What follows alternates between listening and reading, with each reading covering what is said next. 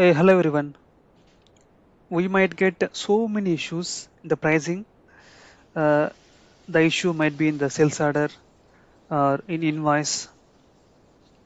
Uh, something wrong with the uh, condition amount value that is KBETR or uh, condition uh, basis value that is KAWRT and condition value that is KWERT. So whenever there is an issue specifically the pricing, then uh, we should remember this uh, form that is XKOMV underscore BEWERTEN. This form is uh, that include LV61AA55. This is the important form which will be called in case of pricing determination into sales order or invoice.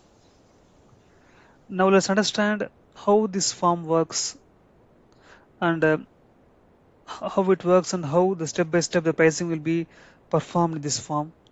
Let's understand them in detail. As you see here, uh, initially in the form, uh, declaration will be happens and uh, refreshing and clearing the tables and variables uh, then immediately we have an user exit in this form. That is user exit xkomv bewerten init so in this form we can uh, uh, it's a custom it's a user exit right? So we can write our uh, uh, code whatever we want to manipulate the pricing. So in the starting of this uh, xkomv we have this perform which is a user exit then immediately uh, the loop runs. The loop runs in the internal table xkomv you guys should remember xkomv is the important internal table which will hold the pricing information. Later this data only updated into database table konv in s4hana it is prcd underscore elements but in ECC konv table is used so the loop runs inside the loop. First uh, validation happens on the KINAK field. Xkomv KINAK. KINAK is nothing but uh, inactivity reason. If any condition type are inactive then that will be updated into this field and based on this field we can verify and validate whether that any step or condition type is inactive or not.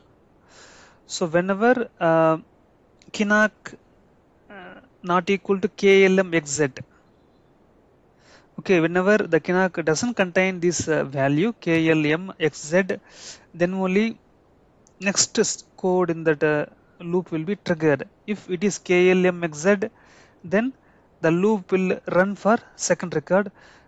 It won't run the further codes whenever it is KLM XZ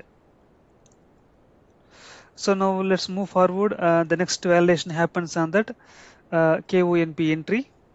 Right so if uh, condition record has been uh, maintained for uh, pricing for example uh, uh, ZP01 the base price condition record has been determined. So KNUMH will hold the condition record number here. And if KOPOS if KOPOS equal to 0 that means there is no entry in the KONP table. So KONH is uh, uh, condition record header table. KONP is condition record item table. If there is no if uh, KOPOS equal to 0 in KONP table then uh, KINAK field will be updated as X. Then we are filling some uh, messages 899 then modifying the XKOMV later continue will happen. Continue will happen in the sense uh, the loop runs for second record in XKOMV so we will continue from here in the next video